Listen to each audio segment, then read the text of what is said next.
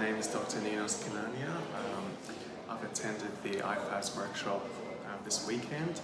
Um, I'm a cosmetic physician from Western Sydney. Uh, I've got my own cosmetic practice. Um, I found this workshop to be very, very helpful um, in sort of advancing your options in non-surgical facelifting, um, especially using um, thread lifts. I feel a lot more confident in sort of applying those techniques in my practice and maybe sort of incorporating that with um, other modalities to sort of achieve a, a, total face approach.